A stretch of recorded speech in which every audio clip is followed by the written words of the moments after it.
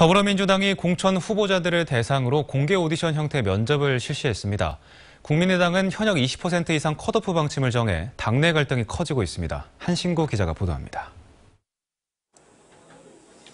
인터넷으로 생중계된 더민주 광주 서구갑 공천 후보 심사 현장입니다. 후보들이 제한된 시간 안에 출마 동기와 자신의 경쟁력을 부각시키기 위해 전력을 쏟습니다. 그 혼자 할 수. 광주의 현안 곳곳에 저 박해자의 손이 가지 않은 곳이 없었습니다. 국민들이 위임해준 정치의 힘으로 그들을 보호하고 대신해서 싸워야 할 때입니다.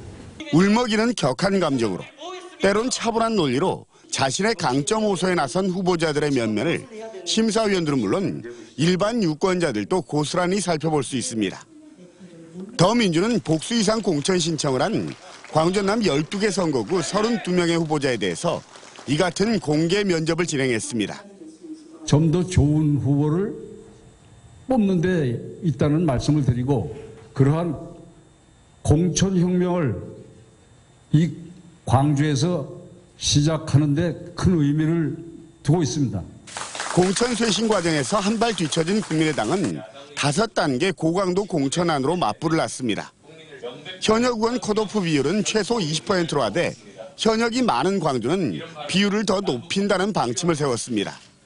또 도덕성과 혁신성, 본선 경쟁력, 전략 공천 여부 등 세 단계를 더 거치도록 했는데 현역 의원은 이 단계를 모두 통과해야 경선을 치를 수 있도록 하겠다는 겁니다. 그러나 지역 현역 의원들이 소속 의원이 적은 현실 여건을 감안해야 한다며 반발하고 있어서 공천 갈등이 폭발할 수도 있다는 전망도 나오고 있습니다.